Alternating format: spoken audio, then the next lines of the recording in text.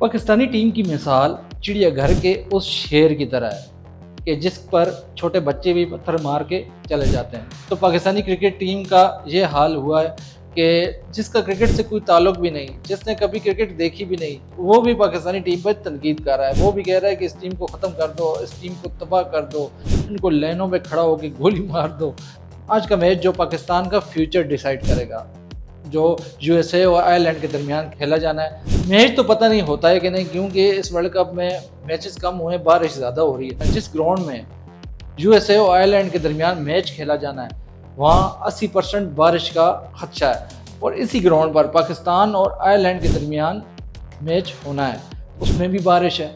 कभी पाकिस्तान अच्छी क्रिकेट नहीं खेलता, अच्छी परफॉर्मेंस नहीं देता और जब पाकिस्तान अच्छी परफॉर्मेंस देने की कोशिश कर रहा होता है, तब ये बारिश बीच में आ जाती है। तो हमारी जो वीडियो है, वो है ब्रेन लारा के बारे में। उन्होंने एक प्रडिक्शन की है। उन्होंने कहा कि अगर मुझसे पूछा जाए कि अगले राउंड में कौन सी टीम जाए इस ग्रुप से तो मैं चाहता हूँ कि यूएसए और इंडिया आगे जाए। इंडिया तो खैर क्वालिफाई कर चुकी है तो अब यूएसए और पाकिस्तान के दरमियान जो फैसला होना है।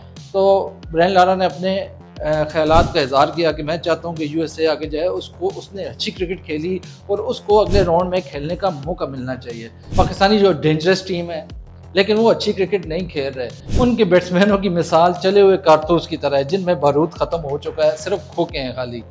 तो पाकिस्तानी आगे जा, पाकिस्तानी क्रिकेट आगे जाना डिज़र्व नहीं करती, क्योंकि उन्होंने बहुत बुरी क्रिकेट खेली। बॉलर्स का नहीं कह सकते बॉलर्स ने बहुत अच्छी बॉलिंग की, लेकिन ओवरऑल जरी बात है टीम एफर्ट होती है बैटिंग भी बॉलिंग भी फील्डिंग भी, ये तीन फैक्टर होते हैं, इनमें आपने परफॉर्म करना होता है। तो जिसमें दो फैक्टर हैं, वो तो हम उसमें ज़ीरो हुए हैं। एक फैक्टर है हमारा बॉलिंग और बॉलिंग से आप कितने मैचेस जीत सकते हो।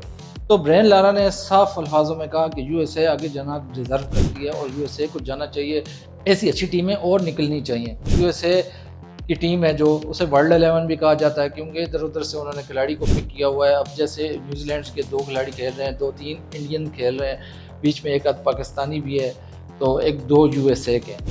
क्योंकि यूएसए में क्रिकेट का कोई शहूर नहीं है। कोई उधर इतनी पसंद नहीं की जाती क्रिकेट। वहाँ के लोग, तेरी बात काम काज में मगन होते हैं। वो कहते हैं, भाई, आधे पौने घंटे का खेल हो और ख़त्म हो जाए। ये चार चार घंटे और पाँच पाँच दिन हमसे नहीं बैठा जाता ग्राउंड में। तो खैर पाकिस्तान खैर यूएसए अपनी क्रिकेट को प्रमोट कर रहा है, वो आगे पीछे और भी खिलाड़ियों को पिक करना शुरू कर रहा है। अब उन्होंने उमर अकमल से भी रबते किए उनको भी यूएसए की ऑफ़र मिली, लेकिन उमर अकमल ने साफ़ इनकार कर दिया। अब मुझे समझ नहीं आई कि क्यों इनकार किया। आपको खेलना चाहिए, अगर पाकिस्तानी टीम में आपको चांसेस नहीं दिए जा रहे। आप समझते हो कि आपके अंदर टैलेंट है, आपके अंदर वो सलाहियत है तो आप यूएसए में जाके दिखा दो। आप यूएसए में खेलोगे तो आप पाकिस्तानी ही रहोगे। तो तो खैर, उमर अकमल का अपना फैसला है तो तो यूएसए की जो टीम है, वो अभी फ़िलहाल मतवाजन टीम है। इतनी बड़ी टीम अभी इतने बड़े मुकाबले उसके नहीं हुए। एक पाकिस्तान के साथ और इंडिया के साथ खेला गया। इंडिया के साथ तो वो हार गए, लेकिन पाकिस्तान के खिलाफ उन्होंने बहुत बेहतरीन परफॉर्मेंस दी। बहुत दलेरी के साथ उन्होंने क्रिकेट खेली। अब अगले राउंड में वो अगर पहुँच गए तो आगे बड़ी बड़ी टीमों के साथ मुकाबले होंगे। ब्रेन लारा जो कि बहुत बड़े लेजेंड हैं, उनकी प्रडिक्शन सही होती है। उन्होंने अफ़गानिस्तान की प्रडिक्शन की थी कि ये टीम अगले राउंड में जाएगी और सेमीफाइनल भी खेल सकती है और खेलेगी।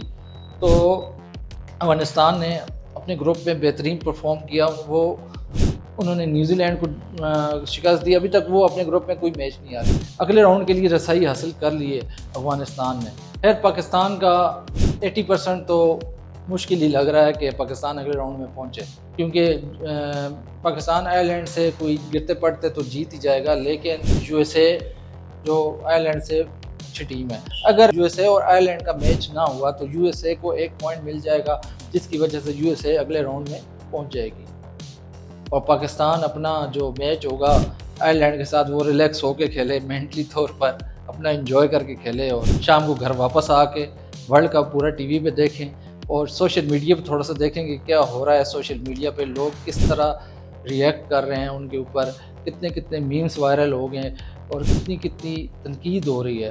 तो ये उनको देखना चाहिए ताकि इससे उनमें थोड़ी सी पॉजिटिविटी आए और आगे कोई अच्छी क्रिकेट खेलने का उनको थोड़ा सा जज्बा मिले।